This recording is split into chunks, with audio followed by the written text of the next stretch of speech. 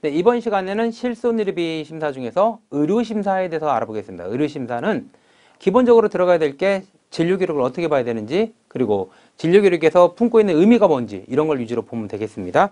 제가 첫 번째로 보여드릴 게 이번에 할 게 진료기록의 구성, 그 다음에 진료기록 분석은 어떻게 하는지 그 다음에 진료비 영수증 및 세부 내역서에 담겨있는 내용은 뭐고 그것을 어떻게 보는 건지 그리고 주요 분쟁 사례는 뭐가 되고 있는지 그 다음에 사례 이렇게 다섯 가지로 보도록 하겠습니다.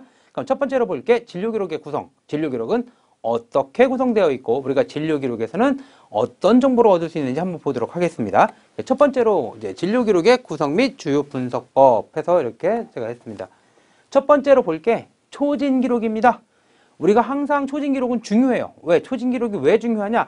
병원에 처음 가서 환자들이 진술하는 내용이 담겨 있기 때문에 중요합니다. 특히 과거력을 확인해야 되는 사례에서는 이 초진 기록은 아주 중요합니다.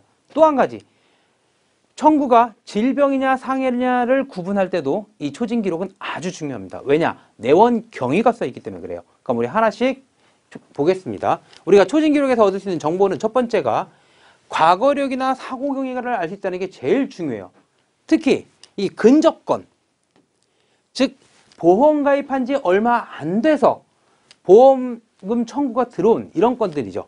이 보통 근접권은 그래서 뭘 근접권이라고 부르냐면 계약 전환 의무, 즉 고지의무 제척 기간이 경과하지 않은 겁니다. 고지의무 제척 기간 미경과권.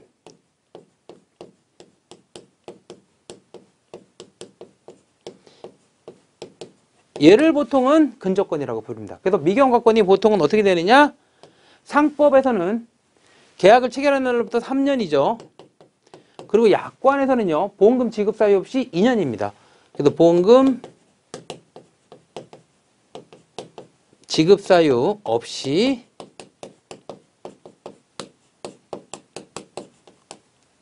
(2년이) 경과하면 제척기간이 경과한 것으로 봅니다.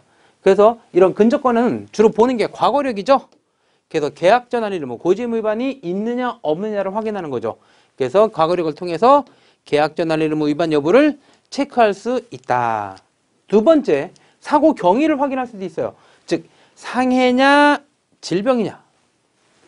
특히 사람들이 그렇습니다. 상해 의료비나 질병 의료비가 한쪽만 가입되어 있을 때 또는 상해 수술비나 질병 수술비 한쪽만 가입되어 있을 때 특히 진단병 중에서 상해나 질병이나 애매한 대표적인 게 추간 판타줄증 같은 근골격계 질환이죠. 이런 경우에 질병인데 상해를 주장하고 상해인데 질병을 주장하는 이런 경우가 있습니다. 이런 때 바로 초진 기록을 통해서 사고 사실이 확인 가능합니다.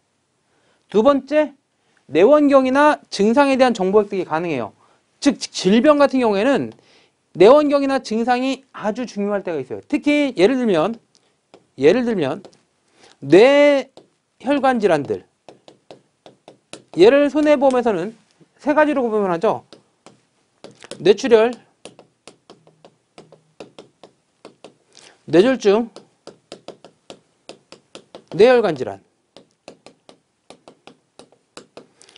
그래서 얘는 I60에서 62까지, 얘는 I63에서 66까지, 얘는 I67, 69가 들어가요.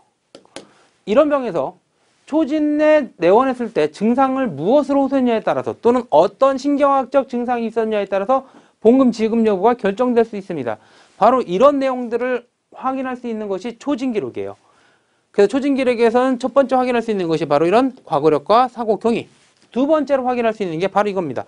진단의 적정성 여부 판단한다. 그래서 의증이나 검사 내용 등이 이 부분이 그러니까 검, 의증이나 검사 내용 등 이부 이런 내용들이 바로 이 부분 초진 기록의 진료 기록에서 확인되는 거예요. 그래서 이 사람이 아로 룰아웃은 뭐였는지 임프레션은 뭐였는지